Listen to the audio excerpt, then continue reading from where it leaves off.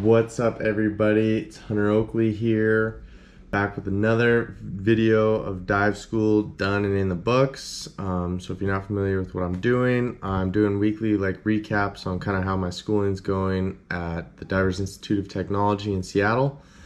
Um, so, if you haven't seen those prior videos, go check them out. Um, so last week, like I said, um, was a lot of PowerPoints, a lot of notes, a lot of tests.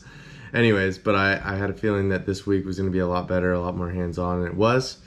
So Monday, the whole class of mine was split up into two groups. Um, on Monday and Tuesday, we were doing chamber runs and the other class was doing CPR courses, and then vice versa. Wednesday, Thursday, I did the CPR courses. Anyways, um, so the beginning of Monday started off.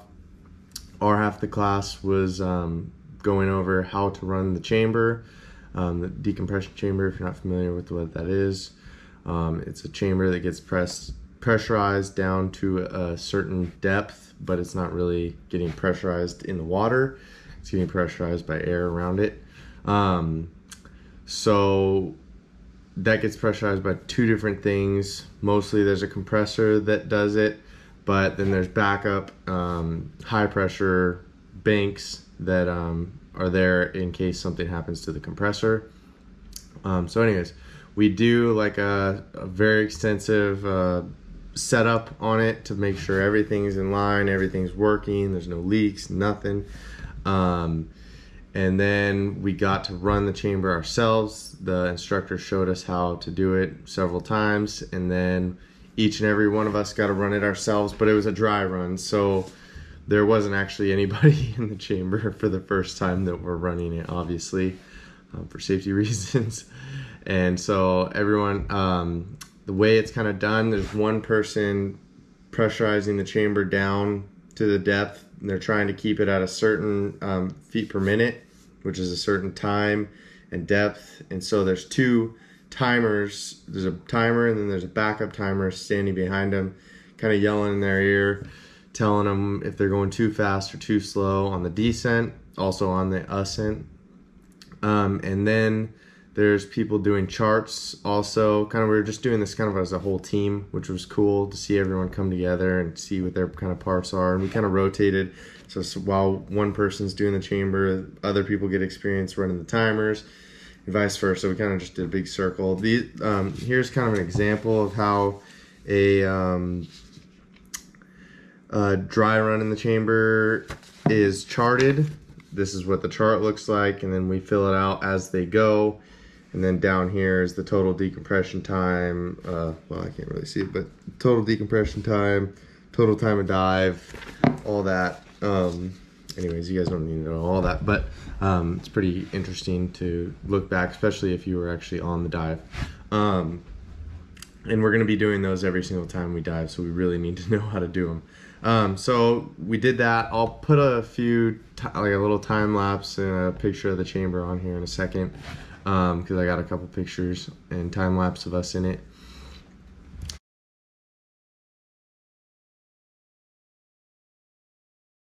Anyways, um, what else? So yeah, we did that. We did a bunch of dry runs, and then after the lunch, the first two groups, we did two groups of four that went in there. Uh, maybe the first group was three. I don't know. It doesn't matter. Anyways, um, so I was the second group to get put in. The first group went good, everything was good. Then the second group got in. It was me and three other guys. Um, did it. Everything was fine. Um, so that's kind of how that day ended. We um, oh, and then also we did a very extensive shutdown cycle.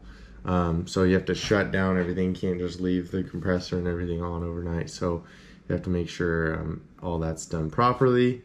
And the next morning we came in, did the same thing. Um, you go over all these sheets um, and to make sure you don't miss anything on the setup. Set up the um, low pressure compressor, set up the high pressure um, banks, set up the oxygen. Um, then the last group got to go in, did a couple dry runs just to keep it fresh in our mind. And then the last group went in everything went good. So all of us had had a chance in my half of the group had a chance to be in the chamber within like the first day and first couple hours of the next day. Then we kind of just um, did a couple of other. I actually got to go in it again the second day um, just to get more time. I mean, we we just it's one one of those things where the more time you get on it, the more time you're doing charts, the more time you're pressing it down, the better you're gonna get at it. So we kind of just kept doing those. Um, if someone wasn't super comfortable, we would do it just a quick dry run, um, just to recap everything and make sure that they're cool and and uh, good to go. Then so we did that for the rest of the day. Um, did the shutdown cycle again, and then our half the group on Wednesday went into the classroom and we started on um, CPR courses. It's done through a, a, deal called DAN. It's the Divers Alert, Alert Network. It's um, a big network that's worldwide for divers. Um, you can also get like insurance and stuff through them if you're like a freelance uh, worker that works by yourself. If you're not working for a company and they already have their own insurance or even recreational divers um, get insurance through DAN, which is pretty good idea if you're uh, diving by yourself. Well, not by yourself, but not um, through a company. Um, and something were to go wrong, I mean, generally you're out on a boat somewhere far away. If, if something really were to go wrong, super bad, um, you would need Coast Guard to come either fly you out of there or it would be a big expensive ordeal. So insurance while diving actually isn't a bad idea ever.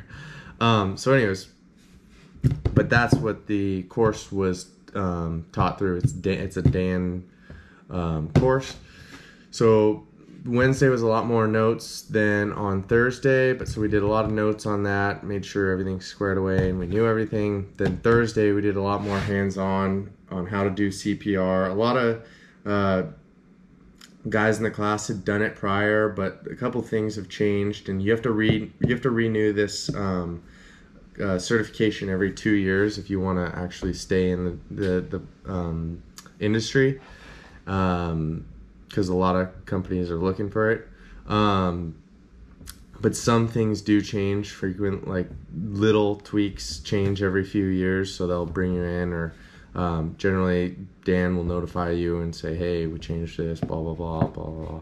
Anyways, um, so we did a lot more hands-on stuff on uh, CPR and stuff. Obviously, because of like COVID and stuff, couldn't do mouth to well, we wouldn't do mouth to mouth anyways. But that's kind of out of the question when it comes to like something in the real world, I guess. I don't know. I feel like if something really were to go wrong with one of my family members or something, I definitely would minister mouth to mouth because I'm not gonna just sit there and watch them die. Anyways, um, so yeah, we did a lot more hands-on CPR and stuff like that. Also, um, how to treat different types of wounds, puncture wounds, gouges, slices, everything. How to apply a tourniquet. Um, pretty much yeah a lot of stuff um, which was pretty cool so we got that certification and then um, at the end of that day we finished our final i don't know how we did on it because it was on the at the end of the day thursday so i'm gonna find that out tomorrow um, and then oh after we got pressurized down that's kind of like our uh, our our go- green green light to diving in the next week. We're not diving this week, upcoming week, but the week after. It's kind of our green light to say, yeah, he's allowed to go down. He's been down, pressurized down to 60 feet. Everything was good um, because it technically is a dive, even though you're not in the water. Um, so we got our um, DCBC logbooks, which is um, awesome. Stoked to get that. You don't get that until you get pressurized down to 60 feet in the chamber to prove that um, you can do it anyways, um, so we got that. Did the dive charts. Anyways, oh, I also got my gear. I'm gonna do another video on my gear because um, I feel like it should be a separate video, not just part of this one. Um, so I'll do that after this. Um, also, I totally forgot to get back to you guys on the knots from last week. Um, I we still haven't technically gone over all of them, but I've talked with a couple of the instructors floating around campus, and they said that I was doing all those knots properly. So those knots are good and good to go. So you don't have to worry that I didn't teach you a wrong knot. Um, So yeah, that seems to be everything that we've done this week. Thanks a lot for uh, tuning in for week four. Appreciate it, and uh, we'll see you at the dive gear review. Well, not really a review. I'm just going over everything I got. But thanks again. We'll see you.